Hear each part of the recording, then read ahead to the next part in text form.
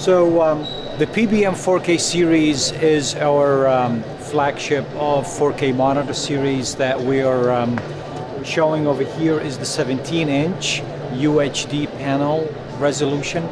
Um, all 4K monitors equipped with an SFP input that is IP capable as well as um, optical 12G it has uh, HDMI 2.0 and it has two 12G uh, inputs and two 12G outputs and it also uh, can be one quad in and one quad out. The PBM 4K series come standard with the waveform vector, um, built in with time code, built in with uh, markers, um, audio, de-embedding audio, audio metering, and basically you have all the control in the front with 16 channels of audio metering on the screen. You can turn them off. The size of the audio as well, uh, uh, metering can be adjusted.